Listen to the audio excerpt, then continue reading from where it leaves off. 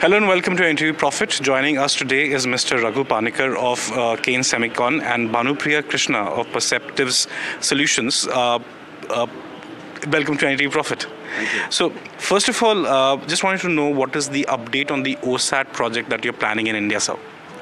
So uh, at this point in time, we are almost in the last stages of getting this approved with uh, with the government.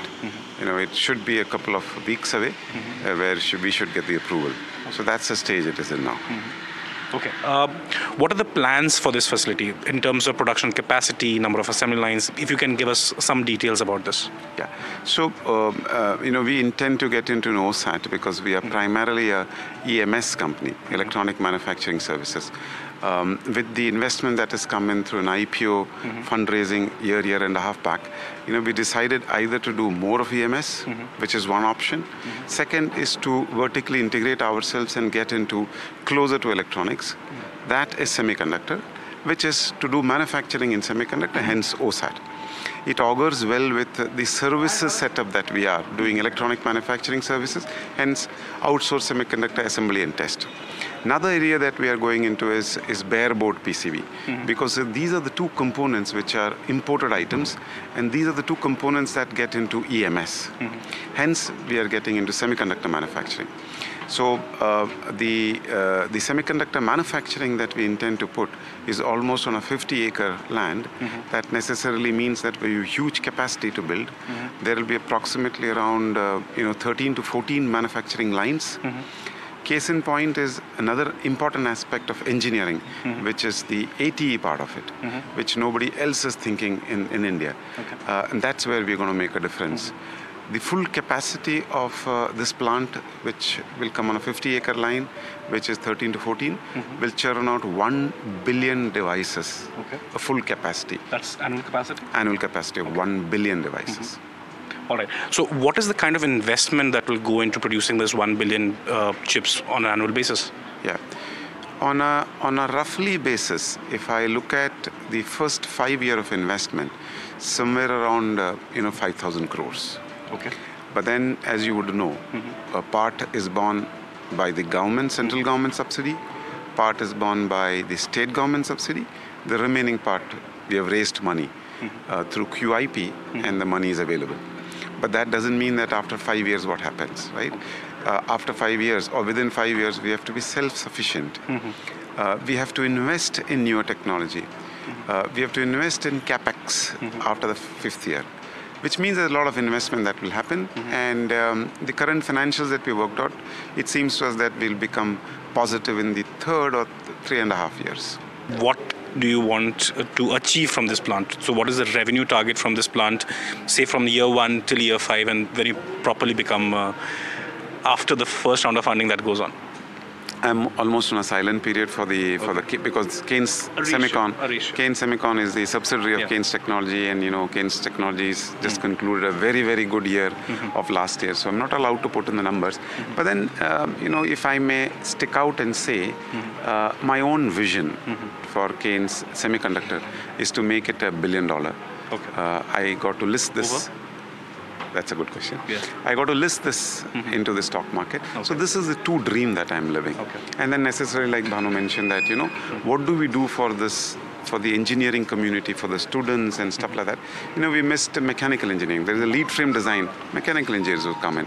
Chemical engineers come in because a lot of gas is being Yeah. used. So I'm sure you know we're going to net net create a positive effect. What happened, like Bhanu mentioned, 30 years before in design, we're going to replicate that or do it a little bit more faster in the semiconductor manufacturing. So, you know, make it a billion dollar, list it, mm-hmm. and make sure that you know we have abundance of uh, talent in India. Mm-hmm. We rather use the talent and also export mm-hmm. it to those countries which are aging a lot and there are not much engineering community there and stuff like that. So that's what I would tell. All right. Thank you so much, Mr. Panicker. Thank you, Bhanupriya, for the for the lovely chat. All the best. Thank, you.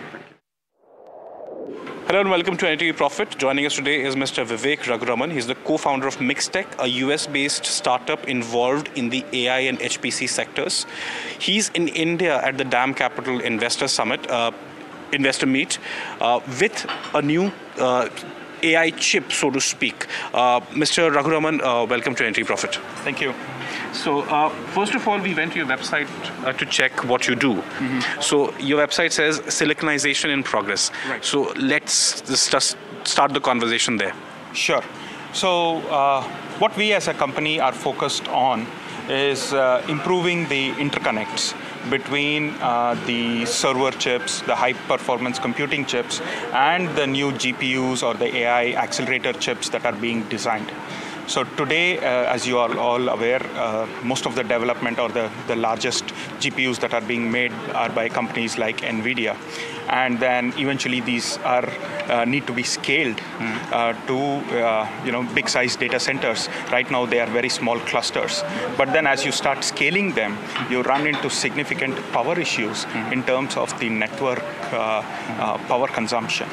So we are trying to address that space by using a technology technology called silicon photonics. Mm-hmm. Now, this technology has so optic fibers have always existed in data centers.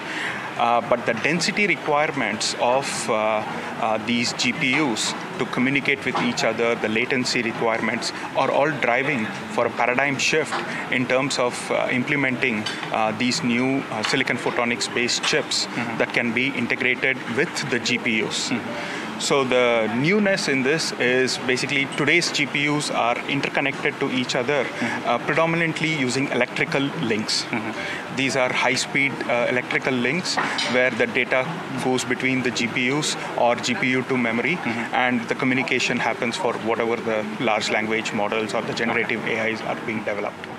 You have something uh, on actually on the table that in front of us. There's actually a chip that you have brought us. Just talk to us about this particular chip.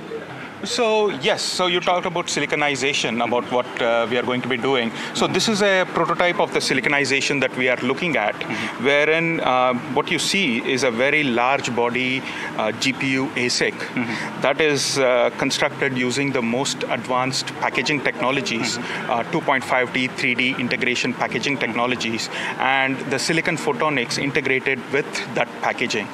And this is going to be sort of the future of how the GPU GPUs are going to be designed mm-hmm. and how the GPUs are going to communicate with each other. Mm-hmm. So this is a photon-based transmission rather than electron-based. That's correct. That's correct. Okay. So so this uses photons, mm-hmm. which are directly converted uh, at the package mm-hmm. and then transmitted out. Okay in that sense, of course, they're going to consume less power because that's the biggest concern about AI chips, AI supercomputers, their power consumption. So, how much does this particular chip reduce or address that concern?